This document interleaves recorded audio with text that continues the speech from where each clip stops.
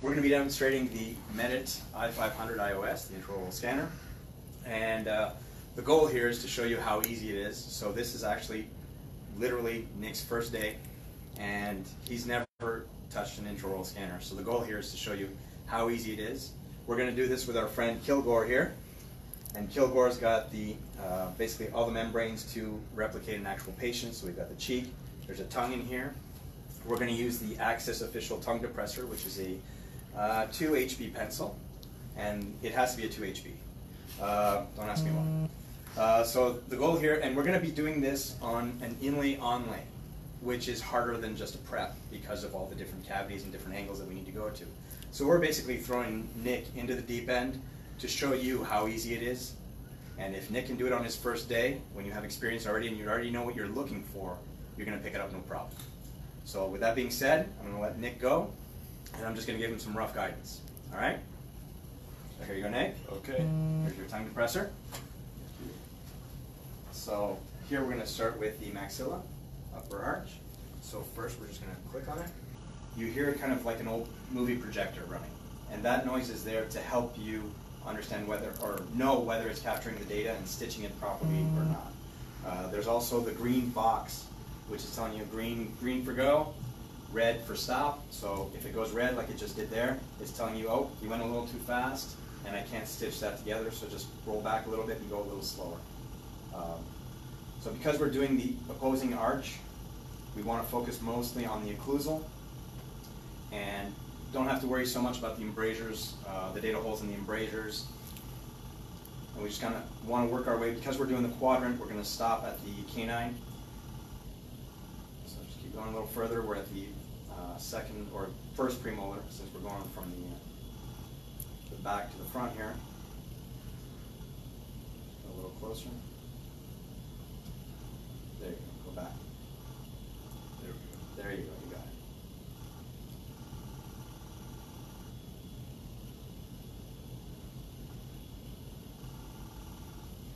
And if you need, you can use the official Axsys time depressor. So try and look screen. Yep. There you go. A little more forward. So we're getting close to that canine now. Alright, and now go towards the side of the cheek. And there we go. And that'll be good enough, so just Okay. hit the button, hold it down. When you hold down the button, it optimizes and processes everything, and then it'll automatically bring us to the mandible, which is where we were at before. So now we're gonna start with the mandible. Okay. Here's your tongue depressor. And there we go, off to the races. Just keep going, yeah. As you can see, he's working from the molars back, and now we're getting into the working tooth, where we're gonna be doing that inlay onlay, um, which is harder than any prep to capture the data with an intraoral scanner, just because of the adjacent teeth and all the cavities. Um, you have to capture all those angles to try and not leave any data holes, as they're very important for the fit of whatever restoration you're gonna be putting in there. As you can see, he's actually picking up rather nicely, uh, even the embrasure in between the molar and the prepared tooth. And so far, Kilgore has not gagged, has not fought us, and is not giving us any hard time. So, Good guy. he's being great with us. And another advantage is that, I don't know if you guys noticed, but there's no spray involved here. And these teeth are actually pretty shiny, which replicates saliva. So there's no spray required. Um, again, if you can't see the margin, if you're not using retraction cord or anything like that, no software will actually create a margin if you can't see it. That has nothing to do with the intraoral scanner. Um, it's just, if you can't see it, it's not there. So now he's moving back, he's just cleaning up the scans, making sure he's not, there's no real big data holes. There you go, check over here, just to make sure you have that angle.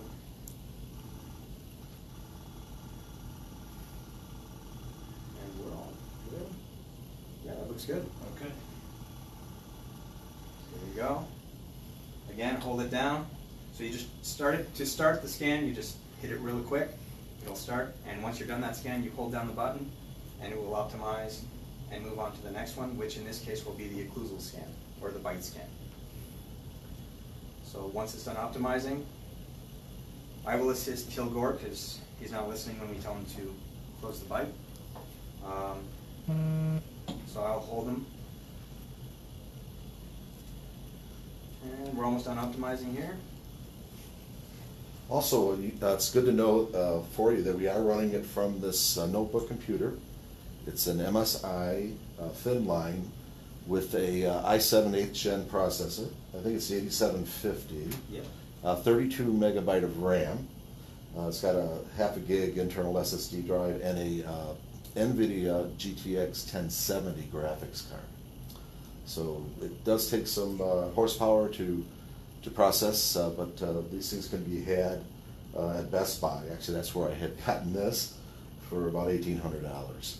Okay, Free promotion for Best Buy. there you go. All right. All right.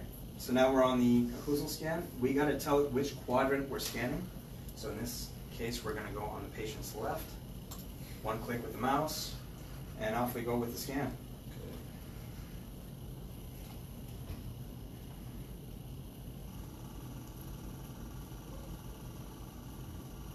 So there you go. And you can see it's already linked the mandible to that occlusal scan. So That's a great- now we're done. Greens go. Yeah, green is go, so you're good to go. Okay, You good. can stop that scan. Now, because we're working on the mandible, that's why it automatically linked it to that bite scan. So the only one we need to do manually is gonna be the, uh, hold it down so that it processes it. Perfect. The only one we're gonna have to do manually is the antagonist. And that literally is a two-point click. So I'm gonna click on the mandible here to say I'm trying to link my mandible to that bite scan. I place one dot, one dot on the bite scan, and then that little chime tells you it's done. And then uh, after that, I hit that little check mark, and the case is complete. Now it's going to process everything. You're done your scanning. Another option is that if you brush your teeth this way, it'll actually close your occlusal right away. So there's many different options to do this, but as you can see, Nick on his first day, never having handled an iOS, knocked it out of the park, real easy. Took us, what, just a few minutes. So again, if you have any questions or comments, chime in. And again, give a hand to Nick. Have a great day.